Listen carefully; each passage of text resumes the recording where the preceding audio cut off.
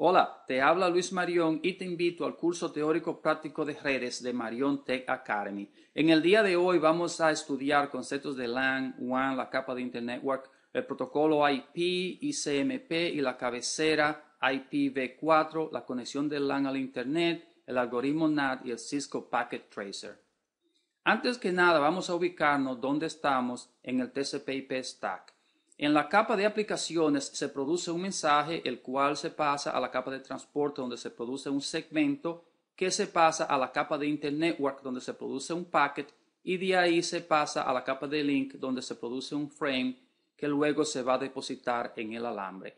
En el día de hoy nosotros nos vamos a concentrar en el estudio de la capa número 3 de Internet Network, o sea que vamos a trabajar con packets, con paquetes.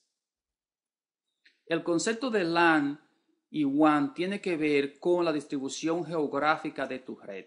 Un Local Area Network o LAN es una red de computadoras ubicadas localmente en un edificio de oficinas o campo universitario. Por ejemplo, aquí tenemos en Boston que varias personas trabajan en un mismo edificio y por tanto decimos que están trabajando en el LAN de Boston, en el Local Area Network de Boston. Mientras que si tenemos una oficina en Miami y otra en Boston, diríamos que nuestra red se, está distribuida en varias ciudades y por tanto tenemos un Wide Area Network, porque nuestra red se extiende más allá de una red local.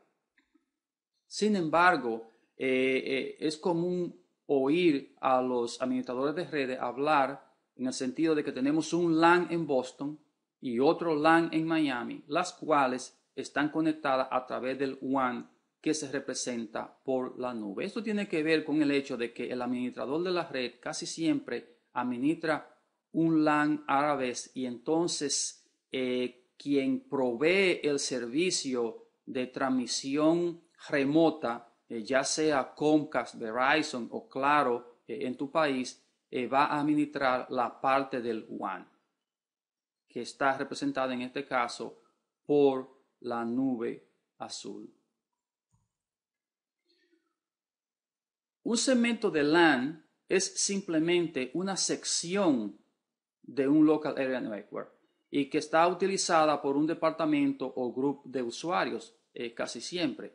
Eh, por ejemplo, podríamos tener un segmento de LAN para la oficina en Boston, en el Departamento de Recursos Humanos, y otro segmento de LAN para, en la misma oficina de Boston en el departamento de IT. O sea que cada uno de estos departamentos tiene su propio segmento de LAN. ¿Qué sucede? Casi siempre un segmento de LAN implica la creación de un subnet. Eh, quizás por seguridad y por tanto en la práctica un subnet o un segmento de LAN se refieren a lo mismo. Eh, otra cosa que pasa es que coloquialmente hablando los términos LAN, LAN segment, subnet, network ID, network, se usan de manera intercambiable, o sea que el contexto te va a indicar a qué la gente se está refiriendo. El Internet Network Protocol o IP se encarga de regular la transmisión de mensajes desde nuestro LAN al Internet o también de un LAN a otro LAN.